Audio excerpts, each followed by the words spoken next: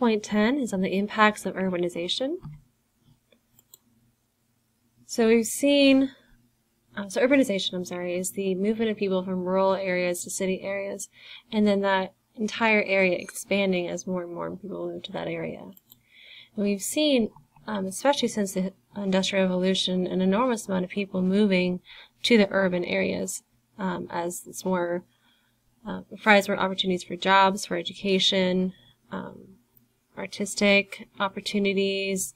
You know, there's just there's more culture. There's just more stuff happening, and being in that region um, just is, provides more opportunities. And then conversely, we see the rural areas decreasing and expected to be um, to peak, looks like around May 2025, and then begin to decline. On the one hand, urbanization uh, allows people to just be closer together, uh, closer to where they need to be. So they tend to use less fossil fuels because they can easily walk or bike to where they need to go, whether it's their job or their groceries or whatever. Uh, there's also more opportunities for public transportation.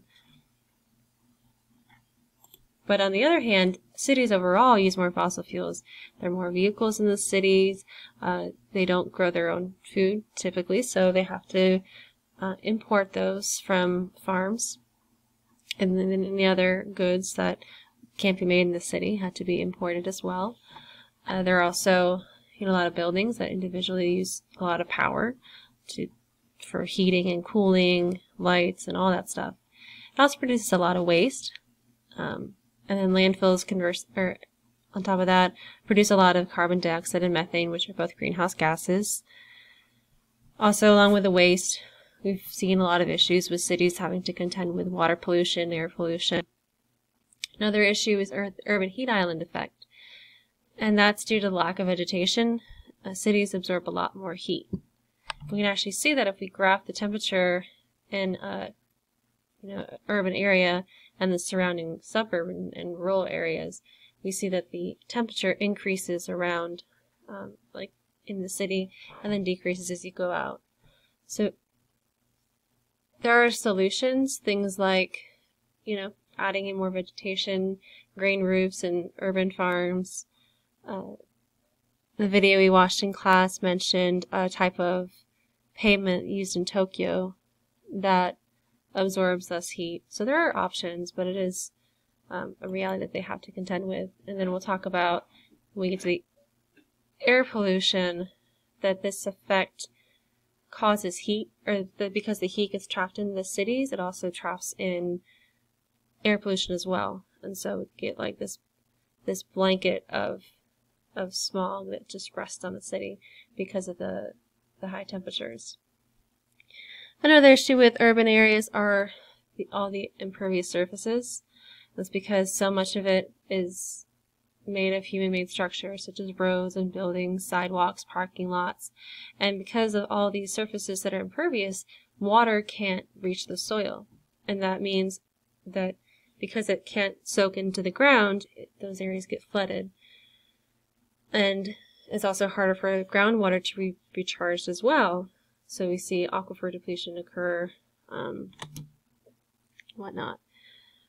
Another issue with that um, with these impervious surfaces and then the flooding is that when it rains, all that water just kind of flows over those impervious surfaces and carries pollutants with it.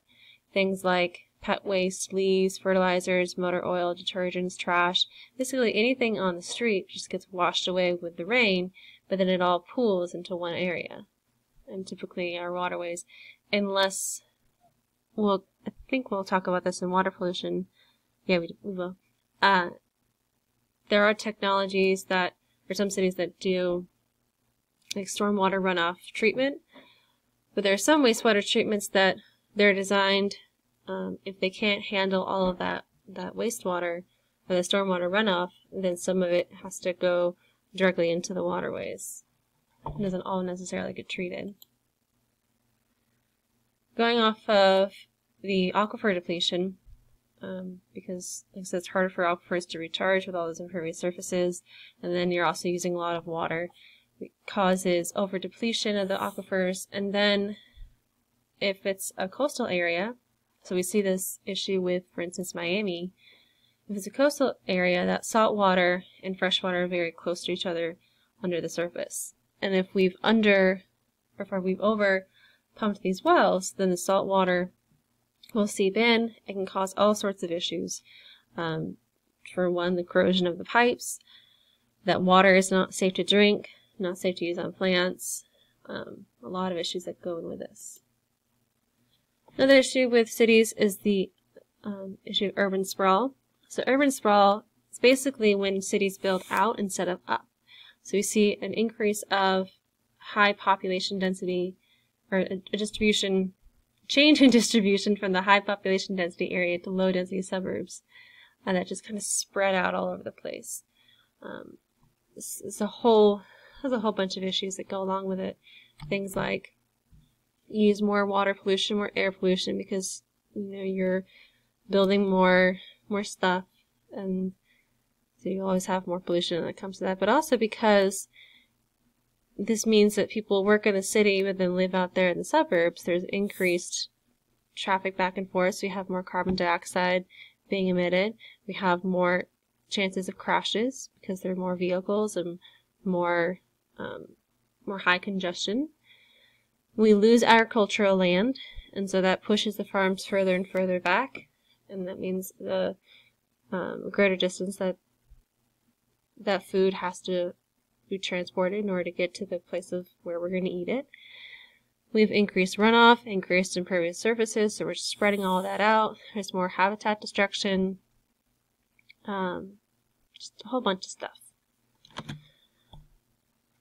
We'll talk a lot more later about some solutions to the some issues with urban urbanization. The couple I want to talk about right now are the Wilderness Act. So the Wilderness Act basically says that there's this land has to be robust and free of development, and that preserves areas in order to preserve the biodiversity, um, so that there can be no development whatsoever. Another important thing are what's called urban growth boundaries, which um, this is, I believe, Boulder. Um, it literally means like you cannot build anything beyond this this this boundary. So it forces people to be creative with what space they have um, fill in like the little spots, build up if possible, um, all that stuff. in summary, describe the effects of urbanization on the environment.